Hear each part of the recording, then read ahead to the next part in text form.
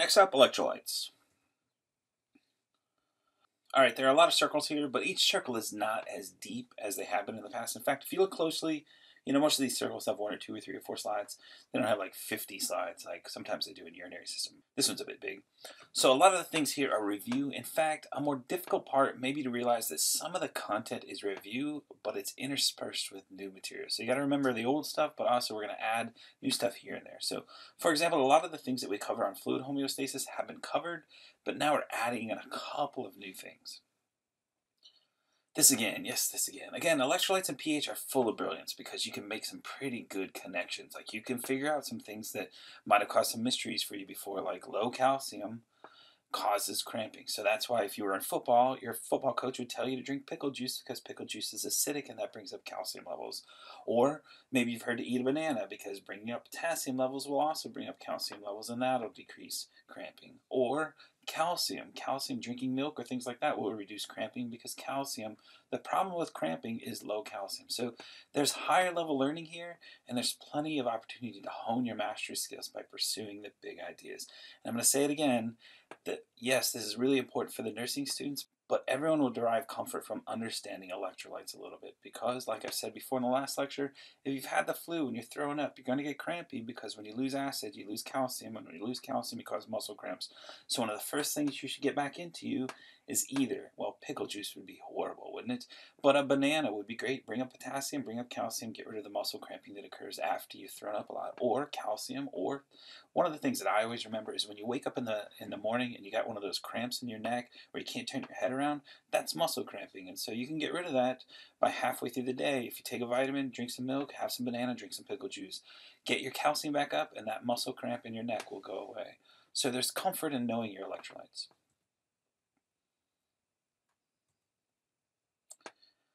One of the difficulties here, though, is we actually have three mini lectures. So we have fluid, then we have electrolytes, and then we have pH. And honestly, I'm going to punt a little bit on electrolytes because that's so dense that you kind of need to separate that off and go watch separate videos. So when you look out here, sodium, potassium, and calcium, isotonic fluid down here would be pH in pure water. I'm not really going to lecture that because you kind of need to go off and do that in a separate sitting. So I'm not going to put it in this podcast. So again, this is a bit tricky because there's three mini lectures. We'll start with fluid. Much of electrolytes will be off in other videos and not in this video. And then probably the toughest is going to be pH. If you're going into nursing, pH is really, really challenging. They're called arterial blood gases when you get into that. So fluid, nice dolly. Art is creativity, and creativity is the highest order of thinking as judged by Bloom's taxonomy. All right, so we're going to go into solutions and electrolytes, then fluid compartments, and then fluid in and fluid out when it comes to fluid. Then we'll come back and we'll do fluid homeostasis. And again, some of these we've already talked about. So we've talked about things like renin, angiotensin, aldosterone system. So again, that's one of the complexities here is parsing out, solving out, figuring out what has been covered and what's new. So this is old. It's really old. It's probably so old that you forgot it. Um, this is a review from when we covered chemistry in the second module. So a solution is when we mix things together. That's a mixture. Whatever it is in the highest concentration is the solvent. Those things in a lower concentration are solutes. So in a glass of salt water, water is the solvent, sodium and chloride are the solutes. There's going to be several examples of solutions in the body from blood to urine to intracellular fluid to the fluid around cells called the interstitial fluid. So solutions are important in the body. Water is pretty important solvent in the world, but especially in biology. So males are about 60% water, while females are about 50%. Males tend to carry more energy as carbohydrate. And you know that if you have salty popcorn, you get thirsty, but if you eat a bunch of sugar, you get thirsty too, because carbohydrate needs water to be stored, at least compared to fat. Infants tend to have even more carbohydrate as energy, so they're about 73% water, while the elderly dry out a little bit. And so as I reach my old age, I'm getting closer and closer to 45% water. In fact, that's one of the things you might notice is if you don't drink a lot of water, you get more stiff. And so water is pretty important for lubricating joints and things like that. One of the things I've noticed about getting old. When it comes to water, there's three main questions. What solutions are there? What solutes are there? And then how do I calculate how much solute is in the solution? We're not going to do that one a whole lot. We can break down the solutions in the body in different ways. The first way is outside of cells versus inside of cells. So outside of cells is extracellular, inside of cells is intracellular. Recall that the chief positive ion outside of cells is sodium. We pump sodium out with the sodium potassium pump. A positive ion is called a cation, while a negative ion is called an anion. The chief negative ion outside of cells is chloride. The chief cation inside of cells is potassium, and the chief anion inside of cells is phosphate. We can divide up extracellular fluid into two additional compartments. So you had inside of cells and outside of cells, and we can divide outside of cells into two different compartments too. The fluid that is around cells in the tissue is called interstitial fluid. Also, the fluid that's in the blood is plasma. So most of the fluid in you right now is inside of your cells, so intracellular, then interstitial, so outside but directly around cells, and then plasma. Now we turn to the question of what types of solutes are there? We're not going to go into this in a whole lot of detail, but when it comes to solutes, the solute may be charged or uncharged. Charged molecules are called electrolytes, while non-charged molecules are called non-electrolytes. The reason to distinguish these is that because of their charge, electrolytes are more powerful at causing osmosis. So if there's a concentration of solutes, both will cause osmosis. Osmosis is when water moves towards concentration, but electrolytes will make osmosis happen faster. The reason electrolytes are more powerful osmolytics is that a charged molecule will be more effective in pulling on the partial charges that are in the water molecule. So recall that a water molecule has a partial charge because in that molecule, the oxygen atom is able to pull the electrons more towards it since it has more protons in its nucleus. So the oxygen part of the molecule is more negative, so the O is more negative, and the hydrogen part is more positive, partial positive. So since electrolytes will also be attracted to these partial charges, electrolytes will pull on water more and increase the movement of water. So since osmosis is the movement of water towards concentration, increasing the movements of water increases osmosis. And again, you increase the water movement with a charged molecule because it pulls on the partial charges in the water molecule honestly, we don't do a whole lot with concentration because we assume you've had chemistry, or if you're not going into a program course that needs chemistry, then you won't have to have that kind of chemistry. Um, and so we assume that you'll be instructed on particular concentration calculations you'll use in your field and in your program courses. So we don't go into a lot of concentration. Do note, however, that we should understand concentration on a general level. The speed and effectiveness of hormones, drugs, poisons, other chemicals is obviously dependent on the concentration. One apple seed is not going to kill you, but if you ate a cup of apple seeds, look it up on Snopes, there might be a high enough concentration of cyanide to kill you. So in general, when you double the dose, you double the speed of a reaction. And that's going to matter in pharmaceuticals and all kinds of things in healthcare. So again, we won't get specific other than to point out that there are multiple ways to measure concentration of solutes. Moles per liter is common for chemists. When you care about charge, you use milliequivalents. Osmolarity is another. Suffice it to say, different users prefer different measurements, so you'll learn about those in your particular program courses. Since we're talking about fluid, let's next turn to how does it get in us and how does it get out of us. For intake sources, about 60% is ingested, so you ingest about 60% of your water. 30% is in your food, and we make about 10%. There's actually some mice that live in the desert and they make enough water that they never need to drink water. How do you make water? Recall that we breathe in oxygen and combine it with the hydrogen atoms from carbon molecules to make ATP. So we pull hydrogen molecules off of carbon based molecules. We then recombine it with oxygen to make water and ATP and carbon dioxide. For water output, about 60% exits as urine, 4% as feces. We lose about 8% of sweat, the other 28% are insensible. Those are losses that we can't really sense, like evaporation through our skin or in our breath. Fluid compartments, we kind of already covered this, but let's hit it again. So I mentioned this before, but let's be specific. Fluid can be inside of cells, that's intracellular, or outside of cells. So fluid inside of cells is called intracellular. Fluid outside of cells but directly in contact with the cells is called interstitial fluid. The other place where fluid is is outside of the cells in the plasma. So in the blood, you have about three liters of plasma in you because about half of your blood is plasma. I don't think you need to memorize the exact amounts of fluid, but do know the basic order. So first is fluid inside of cells, fluid outside of cells, and then plasma. Other fluid would be like CSF, the fluid around your brain, stuff like that.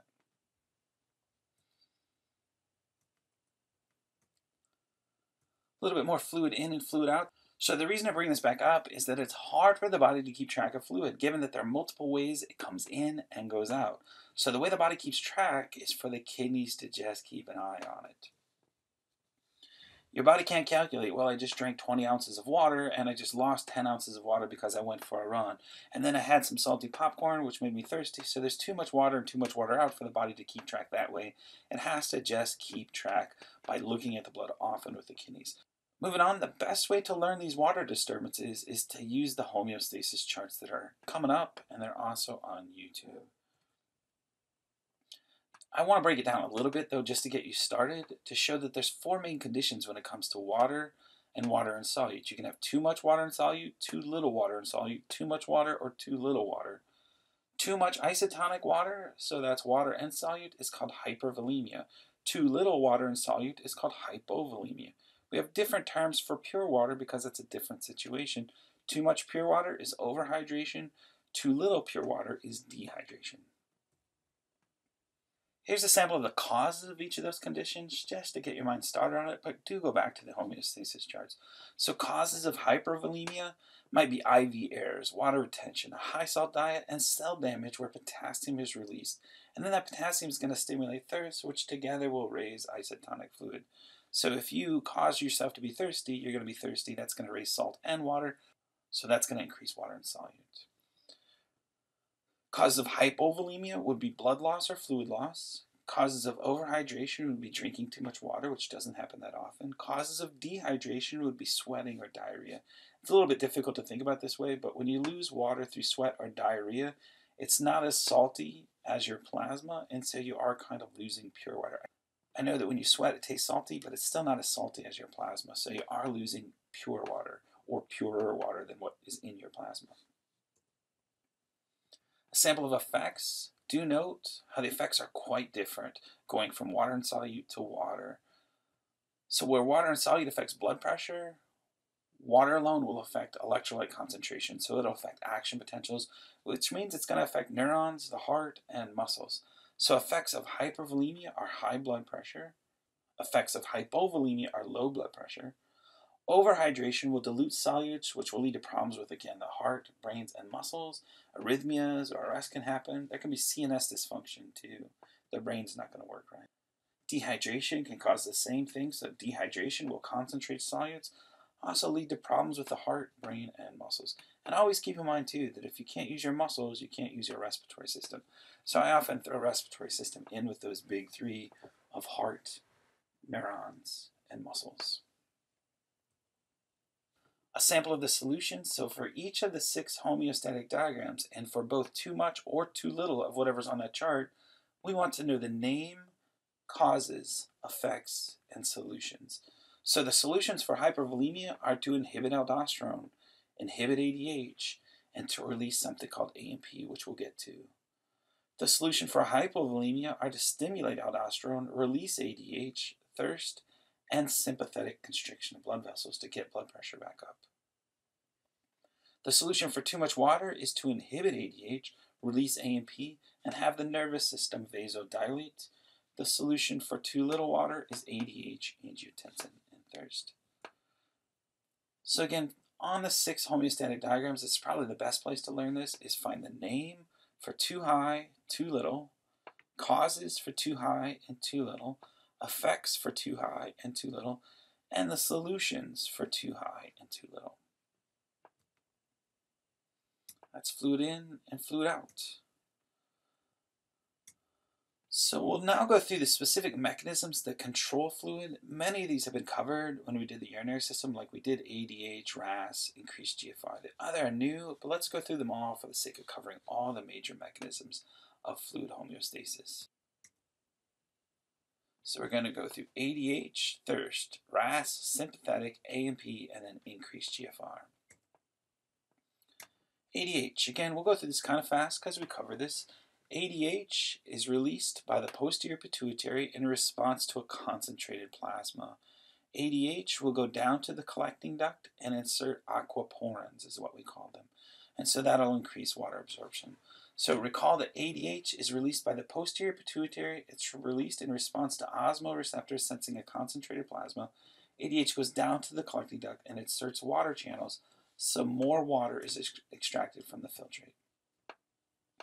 The water channels are created by aquaporins. When aquaporin is inserted into the collecting duct, the water flows out of the filtrate following the concentration gradient set up by the countercurrent multiplier. So recall how the medulla of the kidney had a high concentration of solute set up by the countercurrent exchanger. Well, if you put holes in the collecting duct, water is going to be drawn to that concentration and out of the filtrate. Also recall that alcohol inhibits ADH and leads to dehydration.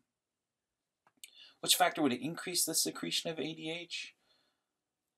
excess salt consumption would be the best answer because it's going to sense concentration. The posterior pituitary senses salt concentration. All of the following sentences about ADH are true except this is one of those where it's one key word. So I believe ADH decreases the volume of urine, but it concentrates it because it pulls water out. So, so B is the correct answer because it should concentrate urine, not dilute it. One word. Thirst Thirst is sensed by the hypothalamus as well as having a dry mouth, but that one's secondary. The hypothalamus senses both an increase in plasma concentration and a decrease in plasma volume, whereas the posterior pituitary only really senses plasma concentration and not plasma volume. Interestingly, thirst is quenched when fluid moistens the mouth and the stomach is stretched by the fluid that's entering it, rather than when the volume and concentration of blood actually changes.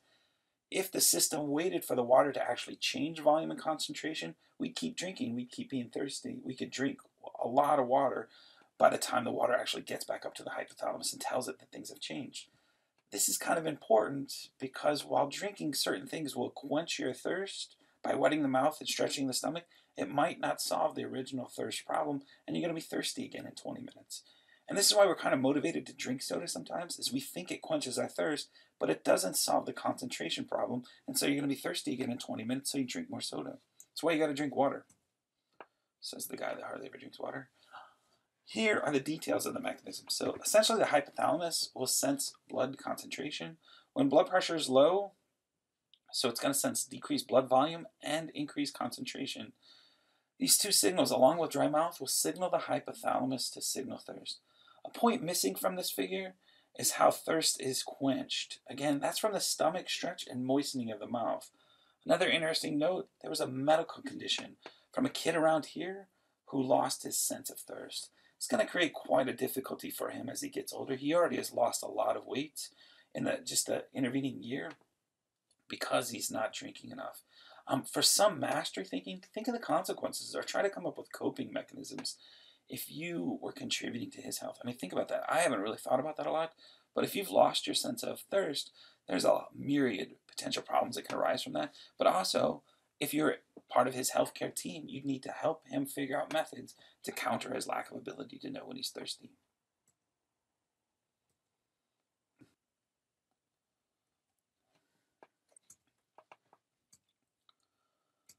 Alright, so we'll go through this one kind of fast too, because here we return to the RAS system, which we covered when we studied the nephron. Recall that renin is released by the JG cells, but then goes through a cascade where other structures that might be affected by the high blood pressure are allowed to veto the blood pressure increase. So the liver, capillaries in the lung, and the adrenal medulla, which is the sympathetic nervous system. So recall that renin is made by JG cells when they sense decreased stretch. Or MD cells will sense, was it too low or too high? Do you remember? Of sodium and stimulate the JG cells further. Do you remember?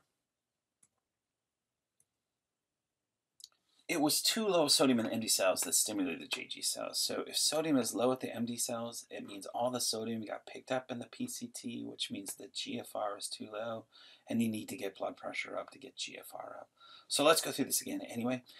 The specifics were that renin combines with angiotensinogen from the liver to make angiotensin 1. If the cells in the body are not healthy, they don't make everything they need. Or think about it as if the liver is too overwhelmed by fluid to do what it does, It won't be able to make angiotensinogen either, and then that's going to cut off the cascade. If the liver allows angiotensin 1 to be made, this floats in the blood through the lungs and encounters angiotensin converting enzymes in the capillaries of the lungs. If capillaries of the lungs are unhappy, they'll not make ACE. If ACE is made, angiotensin 1 is converted to angiotensin 2. Angiotensin 2, I don't have this in my figure, but it will on its own promote widespread vasoconstriction to raise blood pressure. Also, as angiotensin 2 passes through the adrenal cortex, it gets converted to aldosterone. Aldosterone is going to go to the collecting duct, and when it goes to the collecting duct, it increases the absorption of sodium. If you increase the amount of sodium, then you're going to get thirsty, and that's going to increase water absorption as well. So aldosterone will cause the collecting duct of the nephron to take in more sodium, and that'll make you thirsty, and that'll get up water levels.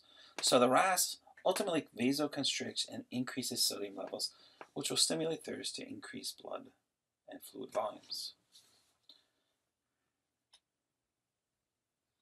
In response to increased levels of aldosterone, the kidneys produce a urine with lower concentration of sodium. I like that because you're pulling the sodium out. Not probably potassium, higher potassium, because remember, aldosterone stimulates the sodium potassium pump. If you pull sodium out, you pull water out, so you're going to have a lower volume. Urine with a lower specific gravity, well, specific gravity means concentration. The higher the specific gravity, the higher concentration. You're going to have a higher specific gravity because it's going to be more concentrated. And then it's not really going to affect urea it actually would have more urea because it's going to be concentrated. Right, that's the RAS system. Now the sympathetic nervous system.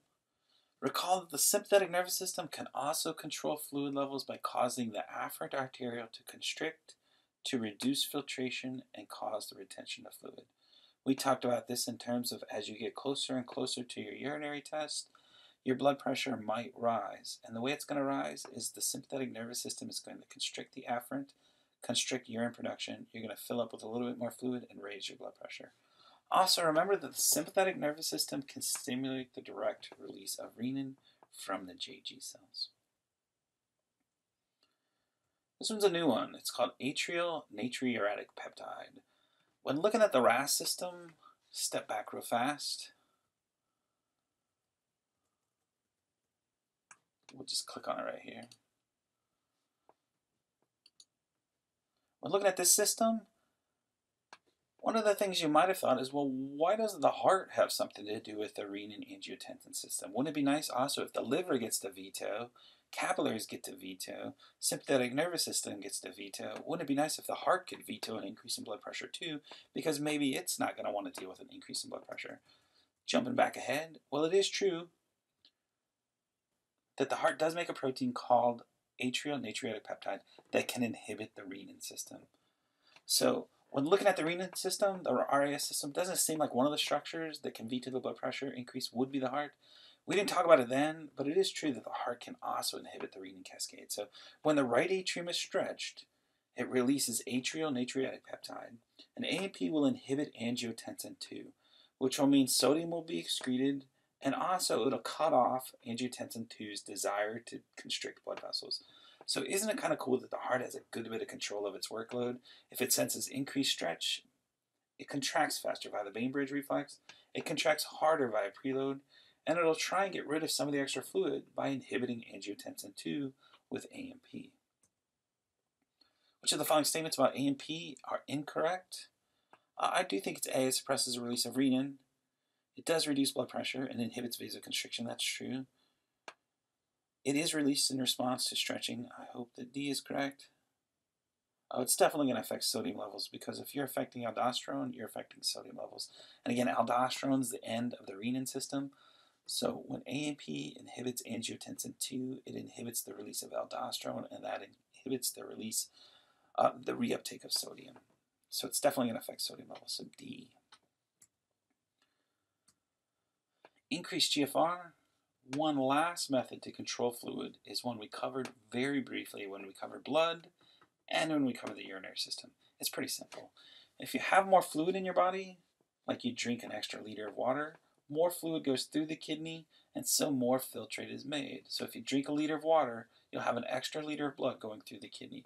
This extra blood will generate more urine and that's going to reduce fluid. Similarly, If you don't have enough fluid in you, not as much fluid will go through the kidney and not as much filtrate will be made. I was thinking about this side note is the principle also applies if you're stranded somewhere, dehydrated, and all you have to do is drink beer.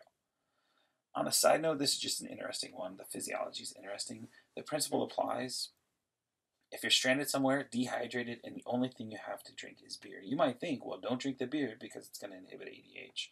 So if you're walking through the desert, dehydrated, and you think you shouldn't drink the beer because alcohol inhibits ADH and dehydrates you, you should drink the beer because if you have a dangerously low fluid, no fluid is going to the kidney, and so inhibiting ADH isn't going to have any effect.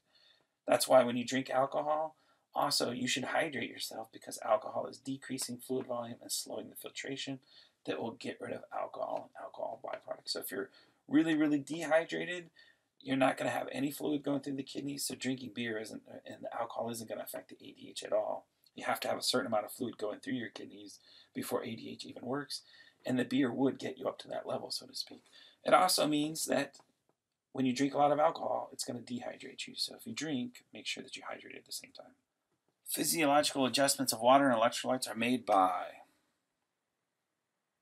That's a dumb question. Sorry. Um, definitely aldosterone, definitely ANP, definitely ADH. And so it's dumb because all of the above can't include none of the above. And so it should have been all of the above. That's why we argue questions in class. Sometimes DJ writes really dumb questions. The last thing to cover in fluids is edema. Edema is the accumulation of fluid in the interstitial space, so too much interstitial fluid. There's a lot of causes. We'll go through a few. Edema is so much easier to draw out, so this is a topic that's easier if we just draw it all out. So I would go look for the video on edema or on YouTube. The video is upcoming if you're on Prezi, so it'll link to it. If you're listening to this as a podcast on YouTube, then go over and find the YouTube on edema as well. So essentially, the video reviews the forces we talked about when we went over capillary permeability, that there are two forces, HPC, which forces fluid out of the capillary, and OPC, that draws fluid back in. Once that drawing makes sense, it becomes a lot easier to see the various causes of edema. So you can have an increase in HPC. You can have something that's damaging the capillary, so it's leaky you can decrease OPC, and then you pick up leaked fluid with the lymphatic system. If there's a blockage in the lymphatic system, that also will cause edema. So again, go watch the video though. So I'll briefly go through a couple of examples. If HPC is too high, you'll force more fluid out of the capillaries. There's quite a few things that can raise HPC because this is essentially blood pressure. On a side note, if there's blood loss, this one's cool. I just think this one's cool. Let's go back and say things that increase blood pressure. So Maybe a congestive heart failure causes an increase and then a decrease in blood pressure, but there's more fluid built up. Something that's blocking capillaries, something that's blocking veins. There's all kinds of things. Uh, too much angiotensinogen, tumors that release aldosterone, things like that can increase HPC. On a side note, if you have a blood loss and blood pressure is lost, is decreasing because maybe you're hemorrhaging, then HPC goes down and you don't push as much fluid out of your capillaries, you actually draw fluid back in from the interstitial spaces to fill your blood vessels. So it's kind of the opposite of edema if you're in a hemorrhage situation. So this HPC thing is cool. On the one hand, is you want to keep it down to prevent edema, but if it gets too low, you'll actually suck fluid from the interstitial space to try and refill blood vessels. So if something damages the capillaries, that's also going to lead to edema.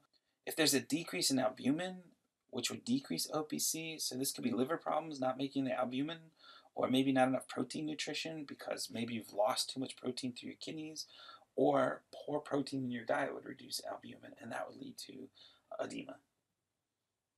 There's a blockage of the lymphatic system, so fluid can't be drained from the lymphatic system. That would also cause edema. All of the following would cause edema except hypotension would not cause edema because you're not forcing fluid out. Again, go and watch the video. So here's the drawing um, that we'll draw out. Even if you don't go and look at the video, maybe look around this drawing a little bit just to see some of the things that cause an increase in HPC. So heart failure can cause a buildup of fluid that raises the amount of fluid in the capillaries. Um, failure of the venous pump, so if someone's paralyzed and they can't get blood going through their veins, that's going to back up into the veins. Um, decrease plasma proteins, anything that decreases OPC. You can lose protein in a burn because you leak out fluids, or maybe you're not having enough protein nutrition, or maybe you're got, you've got pernicious anemia, things like that. Anyway, look around. For these are the multiple causes of edema. I would go and watch the video. Edema, again, is one of those things. It's enormously complex. It's going to affect everybody in their life, so it's something you want to understand. And it's pretty graspable if you just take the time. Everyone's going to be on bed rest sometime. Everyone's going to have fluid buildup, so everyone should probably want to understand edema. These are the videos. All right, electrolytes. I've had many students tell me this is a good book. This, more than any other time, is when you can help your future self if you're going into nursing. Sorry for the non-nursers. But again, I say it again, I'll say it again. If you understand electrolytes, it's going to lead to more comfort in your life because you can solve problems that are caused by electrolytes like muscle cramping. So when I ask former students or nursing instructors, what's the most difficult material? The great majority of people say fluid and electrolytes and also pH. These are just some whiteboards the nursing students made outside of our study area one time. I think they show that you need to have a basic grasp of electrolytes that as we cover them, and then you'll also add more things like priorities, nursing interventions, so priorities, nursing interventions, and other assessments. So you're going to add even more to it when you go and become a nursing student. These were the boards for potassium. These were the boards for calcium. Electrolyte balance in the body usually refers to the balance of tricky question, but acids and bases technically are electrolytes because you have a proton and a hydroxyl, but acids and bases are not considered salts. Salts are electrolytes, so sodium, chloride, potassium, calcium. Most prevalent electrolyte in the extracellular fluid. If you missed that one, go back, start all over, do not pass go, do not collect $200 because you need to know the answer to this one by the time you're this far into AP2 uh, kind of sounded mean kind of there. Most prevalent electrolyte in the extracellular fluid is sodium. Intracellular fluid is, what was it again? Just kidding, it's potassium. Why do we have electrolytes and what do they do? They do a lot. They may be cofactors, like when iron sits in the middle of a hemoglobin molecule and holds the oxygen. Sodium, potassium, and sometimes calcium are used to conduct electricity. So in neurons, sodium and potassium carry the signal from one end to the other. In the heart, calcium actually participates in that conduction as well. I often call calcium the on switch because it does so much. It causes muscle contraction, causes the release of hormones, causes the release of neurotransmitters. When sperm meets egg, calcium is released and it causes these waves to go across the cell. Ever think about that? You have a sperm meeting an egg, and at some point you got to start saying, hey, you start making the head things and you start making the toe things, the feet things. How do we get one cell into something that's polarized so it can become something different. Calcium waves do that. So when sperm meets egg, calcium waves go across the egg to start setting up a, a polarity so you can start dividing up into different types of cells.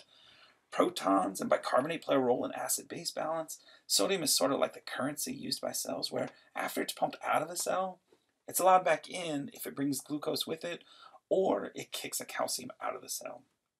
So electrolytes are pretty important. We defined these terms before. Cations are ions that are positively charged. They're called cations because the cathode of a battery is the positive side. Anions are negatively charged, like the anode of a battery is the negative side. I guess you don't need to know that about batteries, but that's where the term comes from. The three most important electrolytes are, of course, sodium, potassium, calcium. If you go into nursing, you're going to add things like chloride and magnesium as well. We mentioned this before. As well, when it comes to homeostasis of electrolytes, we will want to know the name, cause, result, and correction for when electrolytes are too high or too low. So again, these are really dense, and you got to break them up. You can't just sit down and listen to this for a whole hour, which is why it's not in here. So the chart is here. You can also get them off of Talon or there's a link to them on the video on YouTube. So if you go to this YouTube video and open up the more info tab, you can also get the charts. When I make a complex video like this, I have a script. And so that script, if you're on Prezi, you can zoom in and read the script. I'm not really sure. I suppose if I did this, then you could potentially pause the video and read through this if you wanted to. It's very informal. Like it's not very grammatically beautiful. I was just creating a simple script for when I made the video. I could kind of make sure I got all the details. And man, there's a lot of details, isn't there? Four pages on sodium. But sodium is the complex one. Potassium Again, videos. If you wanted to read this, you could pause the video and hopefully this is readable. Or I like Prezi. Like I think, I'm hoping that at some point students start going and studying on the Prezi. There's the mobile app for it too. That's one of the reasons I'm putting in the script is because with the mobile Prezi app, you can look at these slides and, and read the script on the side. So that's potassium. I don't know why that's zooming back in. Calcium. Click on the script quick in case you wanted to pause, read through the script.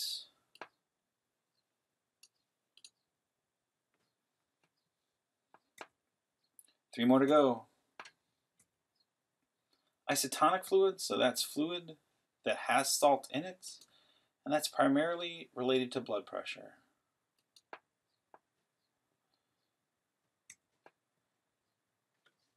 Water that does not have salts in it is pure water.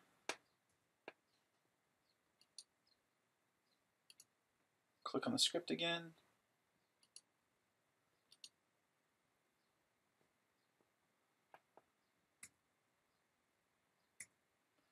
One more. This one's a complex one. pH.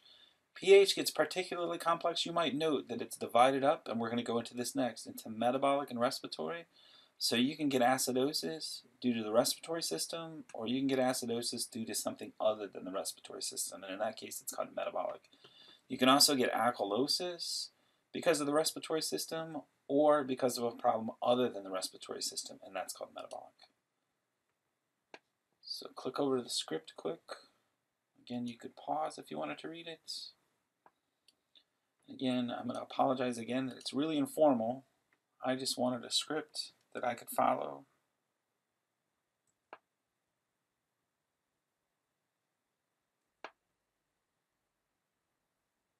when making the videos.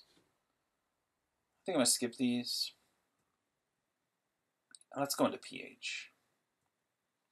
So acid-base balance is next. I know I said this about electrolytes already, and I said that was the most important. But acid-base might even be more important than electrolytes because it gets complex fast with respiratory and metabolic acidosis and alkalosis, and then there's things called uncompensated, partially compensated, and compensated. I mean, I would say do your best on acid base because if electrolytes are problems, like a lot of times when people say electrolytes in nursing are tough, they're also talking about acid base, even though that's technically an acid is not an electrolyte. But do your best on acid and base because you're going to be helping out your future self. And again, even for the students not going into nursing, understanding electrolytes and acid base can help you avoid things like cramping, muscle cramping, headaches, lethargy, and other ailments. If you're feeling really tired, you could have an electrolyte imbalance. All right, first, why does pH matter? So let's start with why we should care about acid and base. Just to plant the seed, the reason is that it alters proteins. It changes potassium balance and it changes calcium balance. So those three things, we're going to come back to that. Acid is essentially the number of protons around H plus really is just a proton. We can call it a proton because it's a hydrogen molecule that started with a proton and an electron, but it lost the electron to get the positive charge. So now it is just really a proton. So we talk about H plus as a proton or acid as a proton. An OH is also called a hydroxyl or hydroxy ion. Acids release protons into solution and bases release hydroxy ions into solution. First, why do acids and bases affect proteins? Proteins have to be held in just the right shape. Think of an example as a protein that has to catch one molecule, then catch another molecule, and let those two molecules interact in a chemical reaction. It could be an amino acid joining with another amino acid to make a protein. It could be an enzyme breaking down something into two different parts or putting two things together. Anyway, the protein has to be in just the right shape to catch the molecules and move them together. The protein is held in the right shape by hydrogen bonds. So the pink lines on this figure show the hydrogen bonds. So on the top left one, the H is a little bit positive and the oxygen is a little bit negative.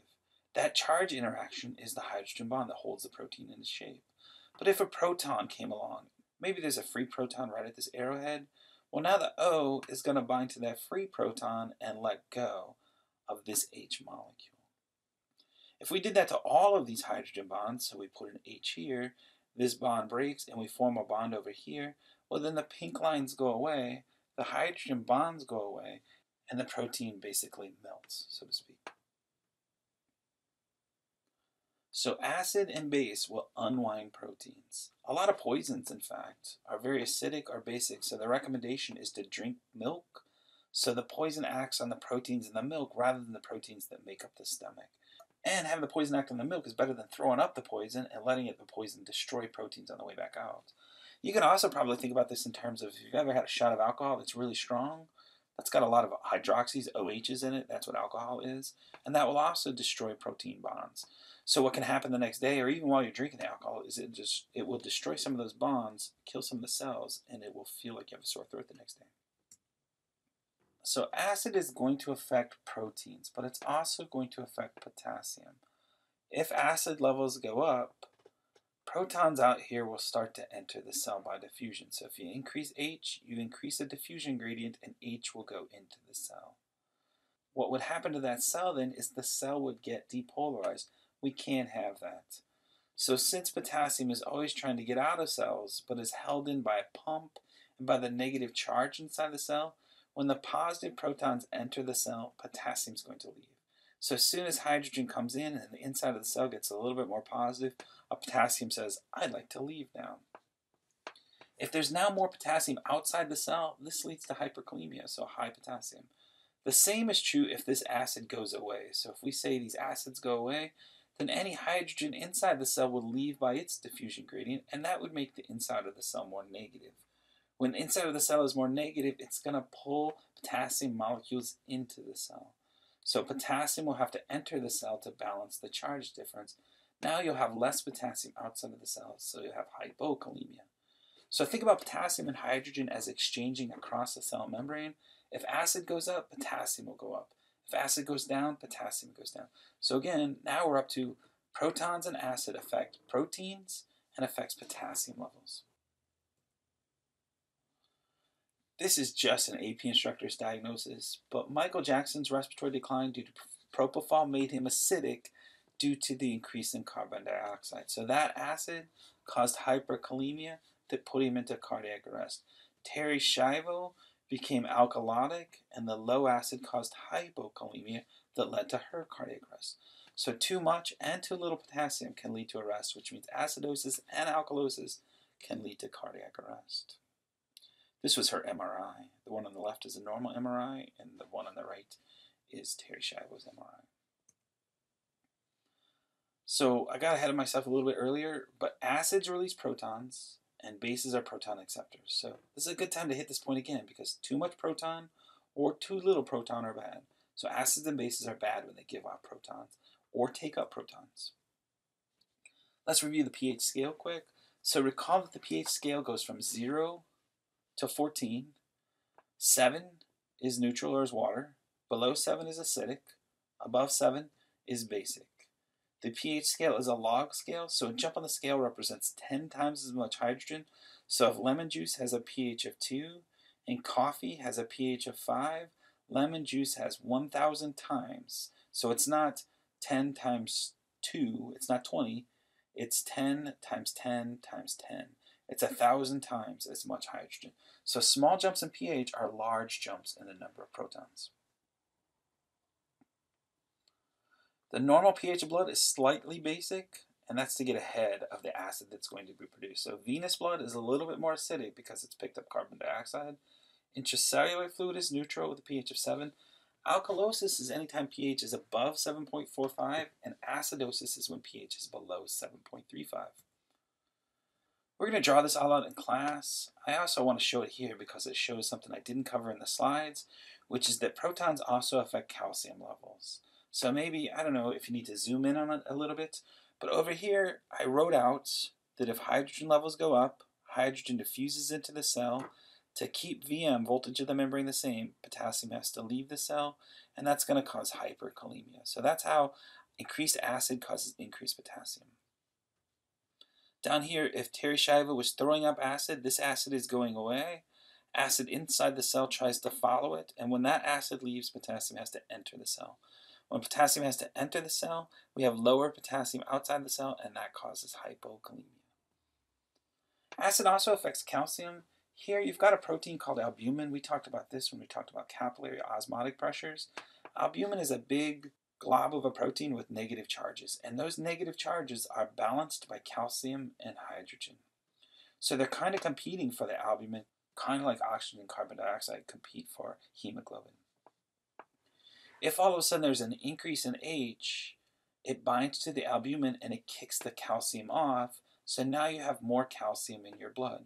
So increased protons will increase calcium in your blood. In the opposite case, in the case of Terri Schiavo, when hydrogen was lost, kept throwing up the hydrogen, well, that left and left these negative charges unbalanced. So calcium from the blood had to jump on albumin, which means there's less calcium in the blood now. So loss of hydrogen causes H to leave albumin. Albumin binds calcium to balance the charges, which means calcium had to leave the blood. So now you have less calcium in the blood, and that leads to hypocalcemia. So up here, review again. Why do you care about acid and base? Well, it interrupts hydrogen bonds on proteins. It affects potassium concentrations and it affects calcium concentrations. And when you go back and you think of how often sodium, potassium, and calcium, well, potassium and calcium are into things, acid has its fingers in a lot of things too if it messes with potassium and calcium. So that's why pH matters. You might ask then, well, if acid is such a bad thing, why is it around in the first place? And this goes back to what we talked about in digestion. We make ATP by pulling hydrogens off carbon-based molecules. So we need to make hydrogen to get energy. Also, we need acid to help transport carbon dioxide back to the lungs as something as it binds to carbon dioxide to make carbonic acid. So then the carbon dioxide doesn't keep kicking oxygen off of hemoglobin. So we need acid for that too. So we want the hemoglobin to be able to carry the oxygen, so we can't have too much acid around. So recall that we don't want a lot of carbon dioxide hanging around because it's going to keep kicking oxygen off of hemoglobin. And we want hemoglobin to carry oxygen, so that's why you need a certain amount of acid around as well to help hemoglobin carry oxygen and drop it off when it needs to. So you have this source of hydrogen because you're pulling it off carbon-based molecules. How do you control them? we have three systems, and each system balances how quick they are to react with how much acid they can handle. So for example, chemical buffers act fast, but they can only get rid of so much acid. In fact, they can't even really get rid of acid.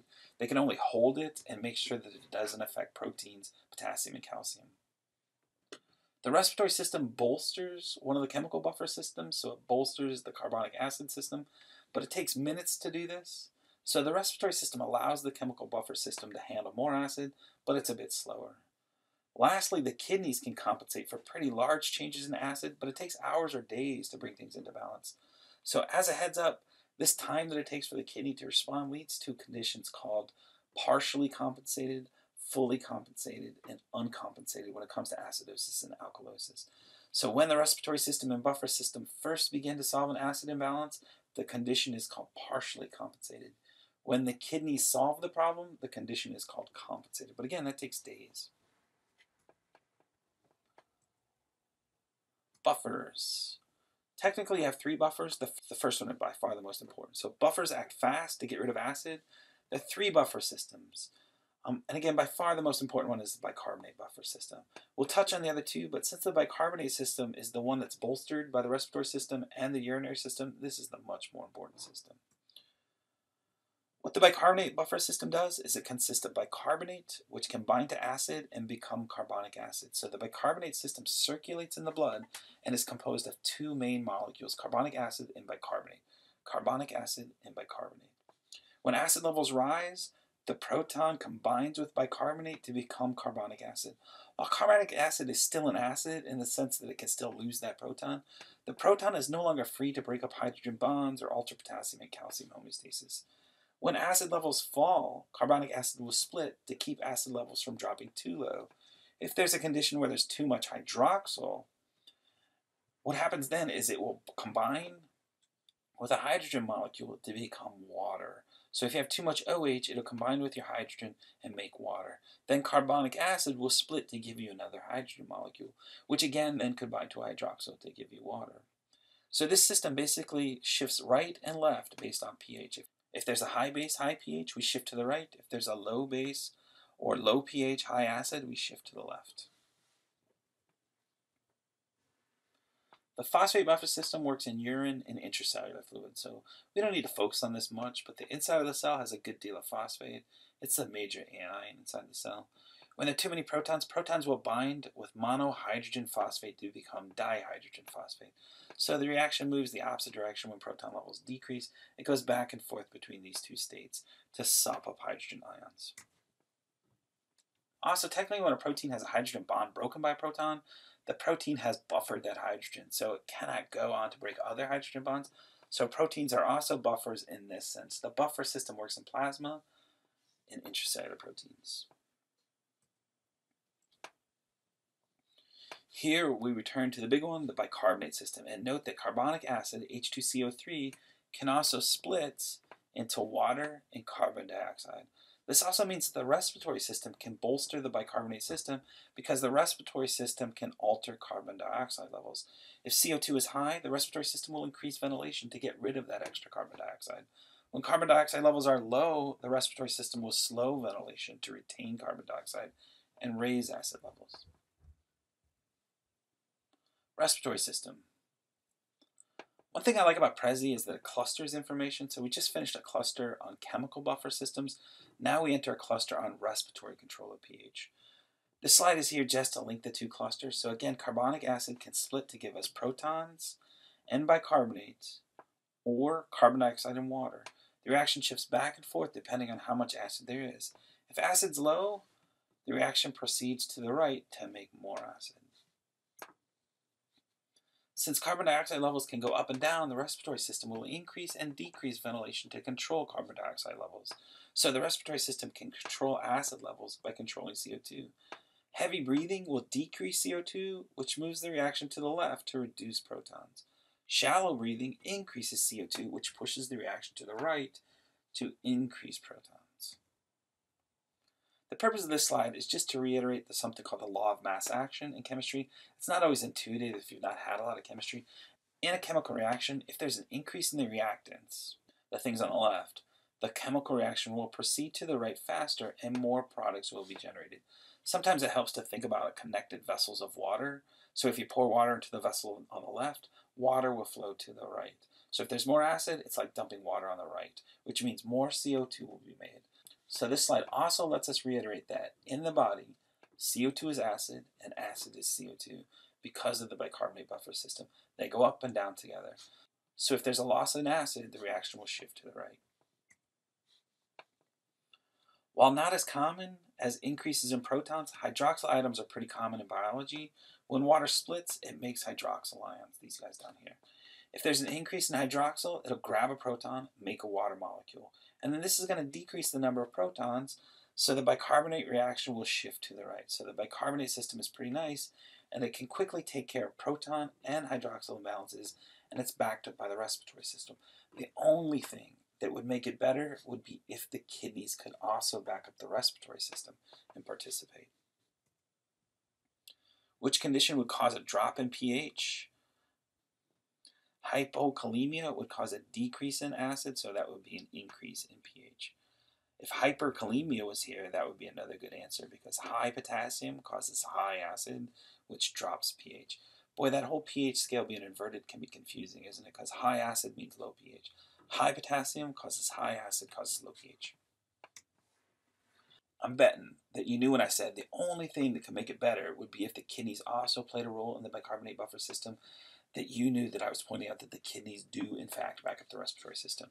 So while buffers in the respiratory system can hold on to protons or hydroxyl ions, they can't really get them out of the body. They can't get rid of them. These buffers need the kidneys to actually get the acid or base out of the body. So the kidneys do play a role. They're just slower.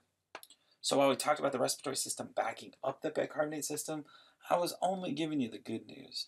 The bad news is that if there's a problem with the respiratory system, the increase or decrease in carbon dioxide will now create an acid-base problem. So the respiratory system can alleviate an acid-base problem. It can also cause an acid-base problem. So when the respiratory system cannot get rid of carbon dioxide due to ventilation issues, carbon dioxide levels will rise above 45 millimeters of mercury, and the body will be in acidosis. When the respiratory system is getting rid of too much carbon dioxide, as in a panic attack or hyperventilation, carbon dioxide levels will fall below 35 millimeters of mercury, and the body will be in alkalosis. So, even more bad news the respiratory system is the most common cause of acid base imbalance. So, we talk about acid base imbalance and we talk about how the respiratory system can solve it, but really, most acid base imbalances are caused by the respiratory system. So, fortunately, the kidneys are a backup of the bicarbonate system. So, when the respiratory system creates problems, the kidneys can solve them through a solution that will take hours or days. I mean, the hours or days is kind of a bummer. Just hitting this point again with a visual. So think about things that impaired ventilation when we studied the respiratory system. So things like COPD, pneumonia, flu, scar tissue. I guess COPD is also emphysema, but emphysema are a few. These will increase carbon dioxide, and this is going to increase acid. So if we increase CO2, we increase acid.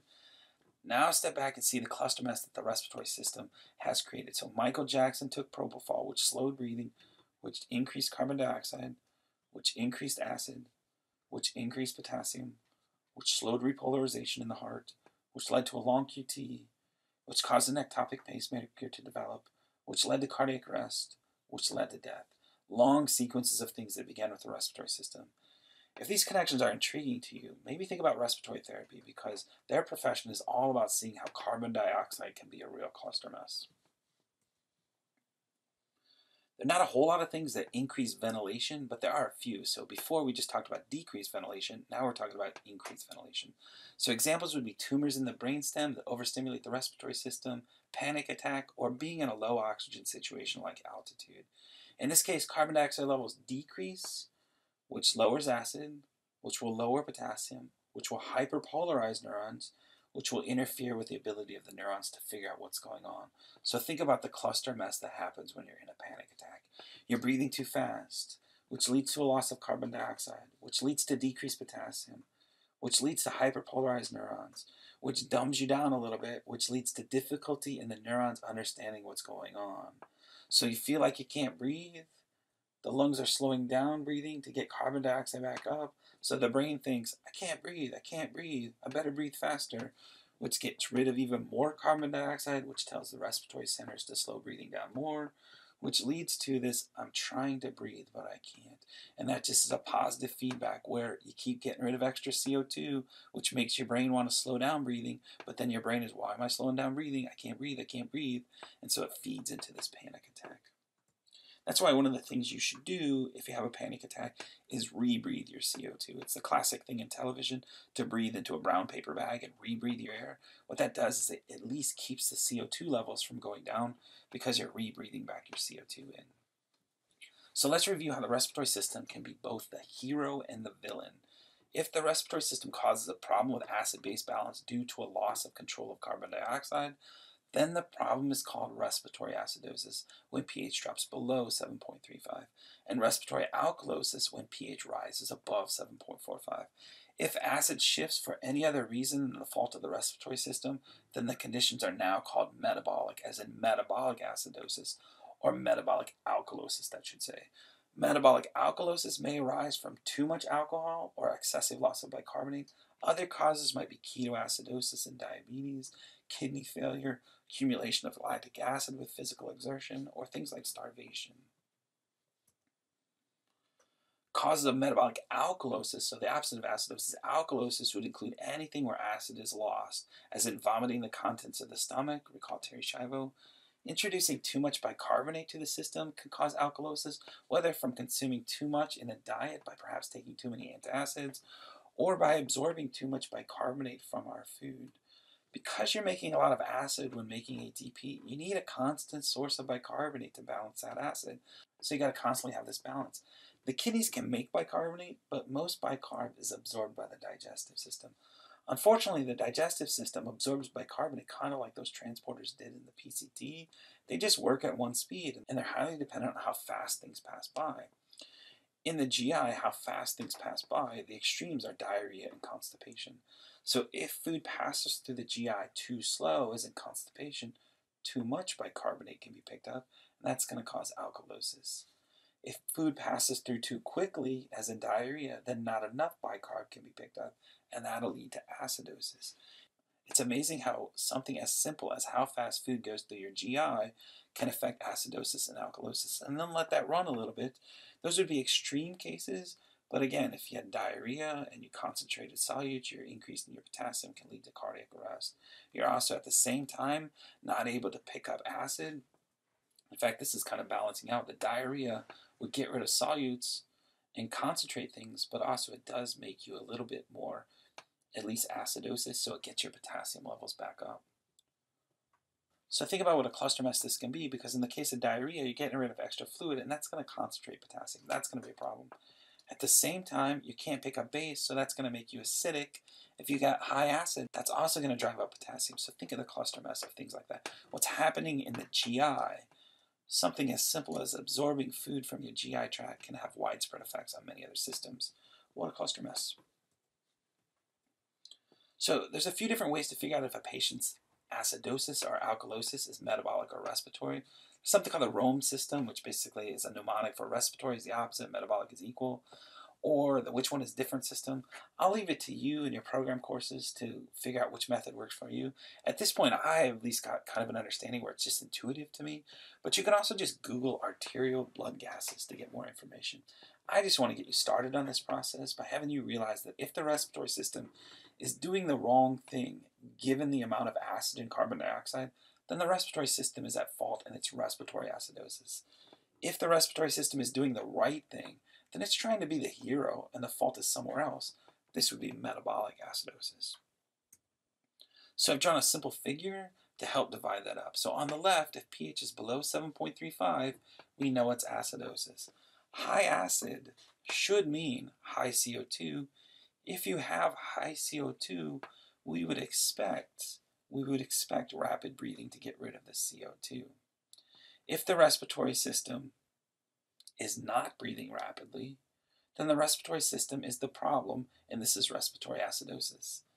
If the respiratory system is breathing fast, it's trying to be the hero. It's trying to solve the problem caused by something else, and so this is metabolic acidosis. Does that make sense? If the respiratory system is doing what it's supposed to be doing, it's metabolic the respiratory system is doing the opposite of what it's doing, it's respiratory. The same thinking applies to alkalosis. So in alkalosis, pH is above 7.45. Low acid means low carbon dioxide. In low carbon dioxide, we expect the respiratory system to slow down breathing to retain carbon dioxide and get the acid back up.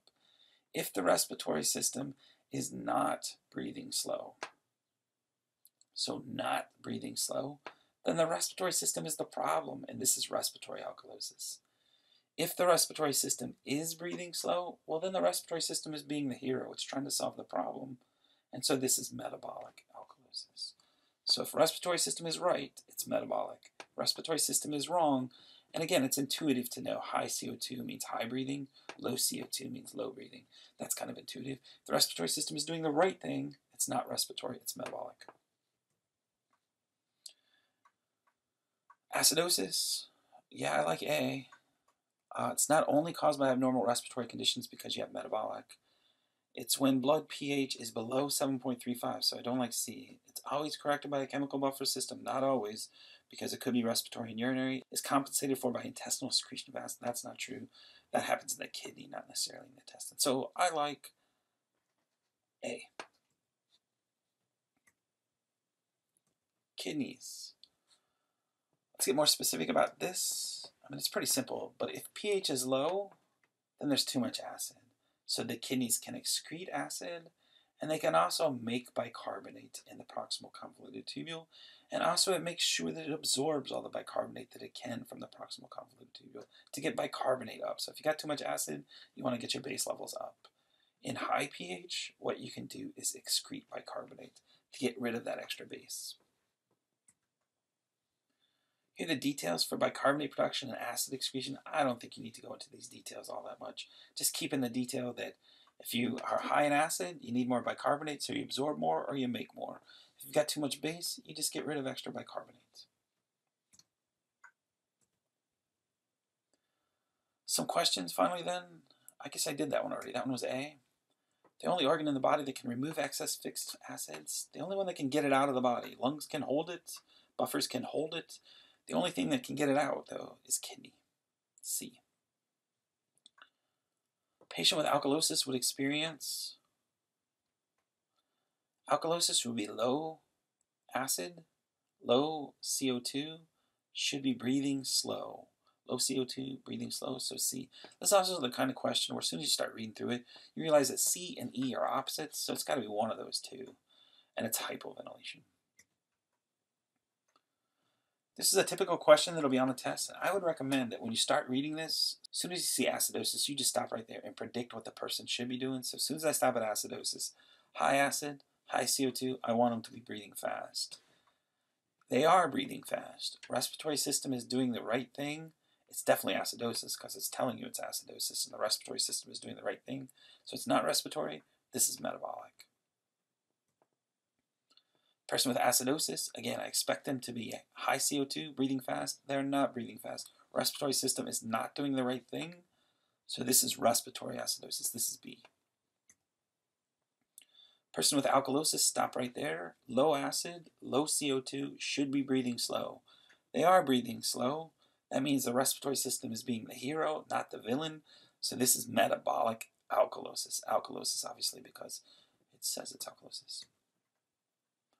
Person with alkalosis is breathing rapidly. Alkalosis, low CO2, low breathing, should be breathing slow. They're not breathing slow. Respiratory system is the villain, so this is respiratory alkalosis. That's D. This is a nomogram. A nomogram is a graph that scales three things. I mean, think about that. You've graphed so many things on an X and Y scale. Now this has a third axis. So to graph acidosis and alkalosis, you have to graph pH, bicarbonate levels, and carbon dioxide levels.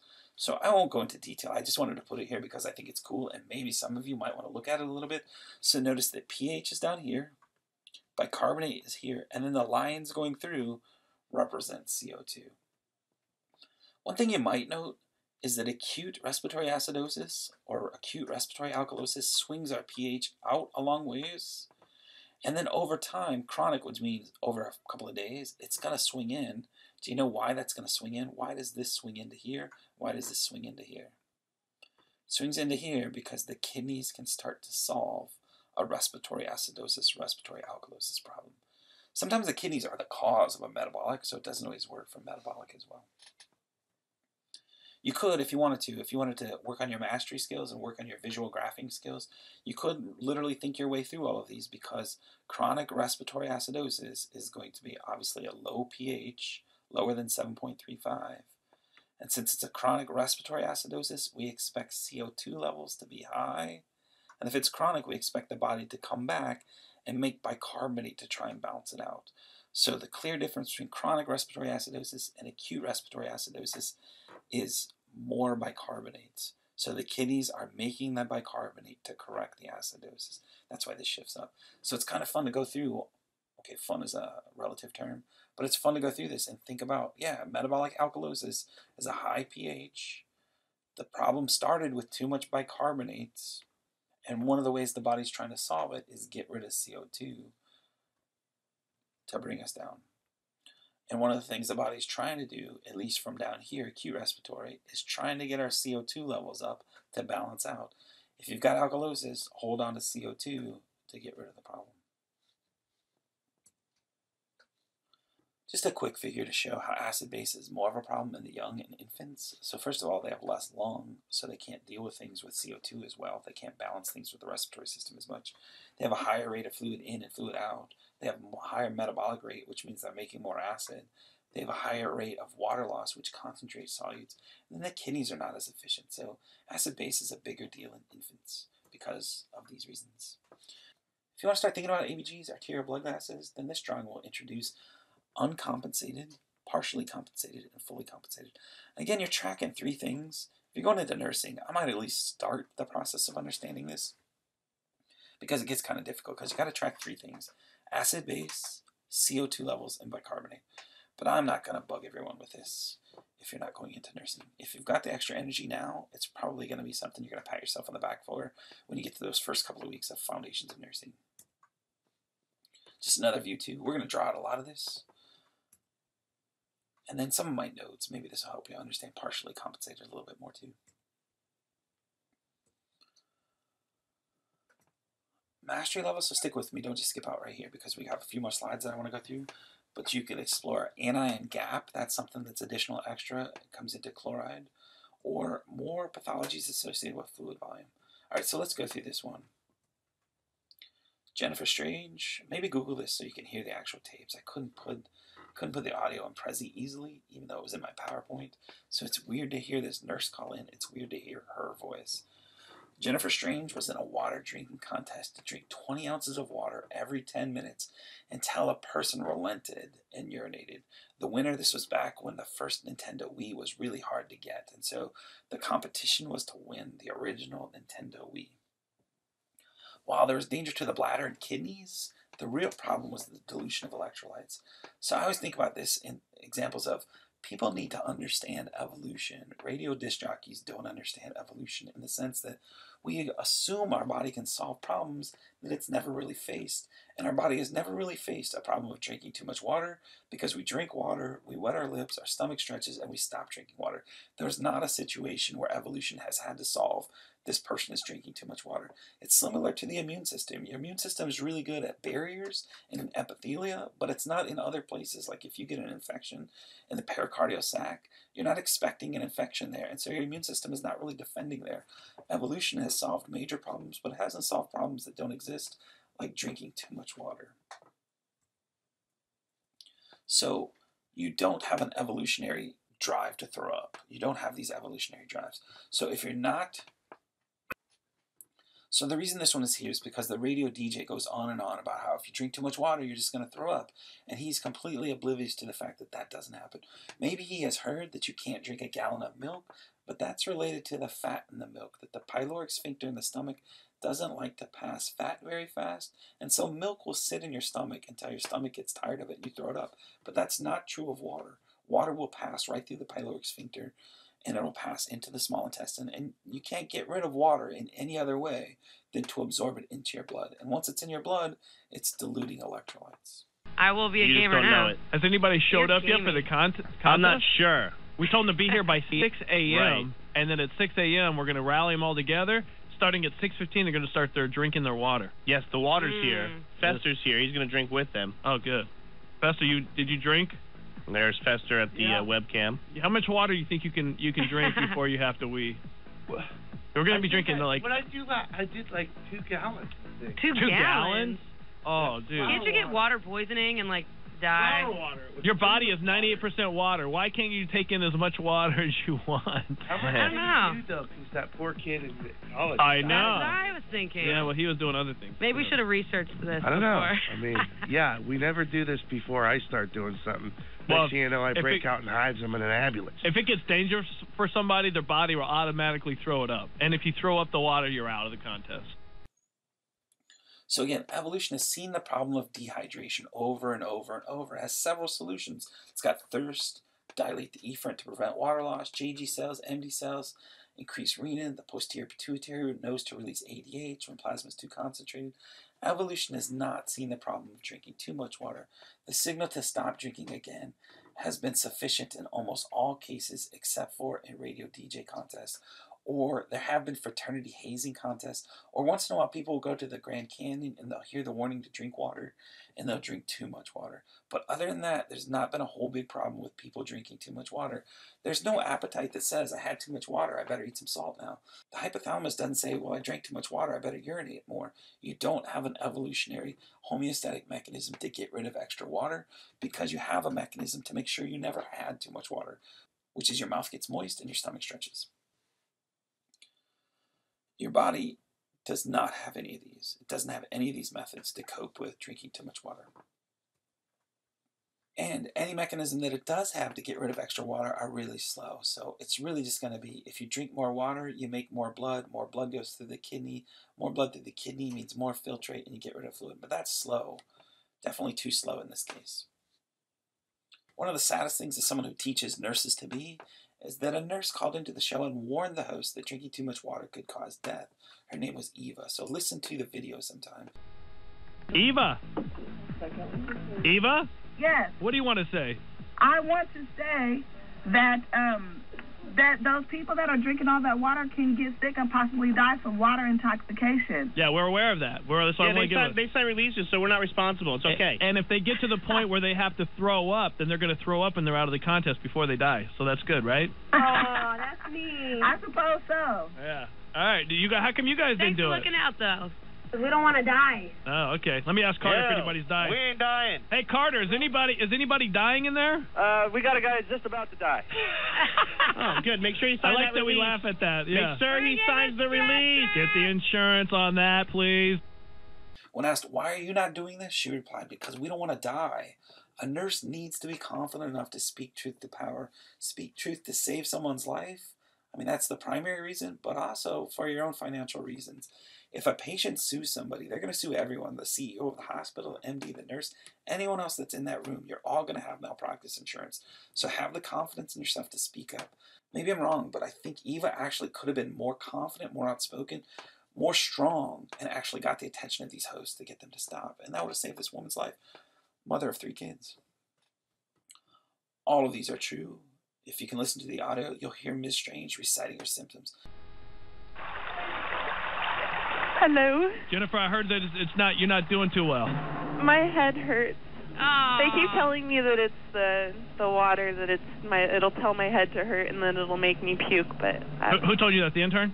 yeah, That's what I noticed over there. like it kind of it makes you it hurts, but it makes you feel lightheaded. So I'm not sure if I'm just like This is what it feels like when you're drowning. There's a lot of water inside of you. oh it hurts. She's lightheaded and her head hurts, and they keep telling her that she'll throw up, which is not true. There was too much fluid in her brain, and her neurons were not functioning correctly due to the ions being diluted. It's hard to know what specifically led to death, but it could have been a number of things. The neurons that caused breathing could have slowed down. What happened is she won second place. She was supposed to win tickets to a Justin Bieber contest. When they came to pick her up to take her to the contest, they found her dead. Could have caused hyperpolarization of neurons in the brain, so the heart stops. Burst blood vessel in the brain. Could have been a number of things. For some mastery thinking, you know, try to think of other things that could have led to her death. And also think about what would have been different if they used Gatorade rather than water. So this takes us back to the difference between pure water and isotonic water. I don't know that it would have changed anything in the sense that she still would have had a huge fluid volume. She would have had edema. It would have caused swelling in the brain, but it might not have caused the electrolyte imbalances. And if those are what caused her death, maybe the heart stopped, maybe she stopped breathing, maybe the brain just ceased functioning because it was so diluted. Any of those things that could have caused death would have been eliminated by Gatorade at least. All right, so that's Jennifer Strange. Uh, explore the various causes, treatments of edema. Boy, I put some of the things on that drawing, but there's multiple, multiple causes. I mean, maybe go read edema on Wikipedia and try and understand all the different causes. With these diagrams, I mean, I have a lot on these diagrams, but there's more, or you could always add chloride and magnesium if you wanted to do more mastery thinking. I think this one's really interesting. We talked about this one today because we did respiratory system in class today as I'm reviewing this. But it's interesting how in the last few years, pain has been described as the fifth vital sign. And so they've often treated pain because what happens with pain is it causes hyperventilation. Hyperventilation constricts blood vessels. When you constrict blood vessels, you don't get as much blood to the brain. And when you don't get as much blood to the brain, it acts weird. It causes anxiety. And so pain can not only be something someone has to tolerate, but it also can affect blood flow, which affects behavior. And so, so for the last 10 years, maybe 10 years, I'm not in the medical field really, um, obviously, but they've talked about pain as the fifth vital sign, and they try to treat it pretty aggressively. But now you're seeing places like in West Virginia where drug companies have given West Virginia, the state of West, West Virginia, enough pain pills that everyone in the state had 730 odd pills.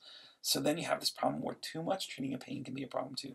It's just an interesting thing to explore how pain can affect breathing, can affect acidosis, alkalosis, and that can cause a huge cluster mess. But since we haven't come up with a pain mechanism that's not necessarily addictive as well, and maybe boy, that's another thought to just have. Maybe humans just like the altered reality of not having pain, and so there is no such thing as a pain pill that's not addictive. It's just an interesting thing to explore. You could explore the anion gap. That one's kind of complex. And then really, if you're going into nursing, look at arterial blood gases. All right, that's it. Thank you.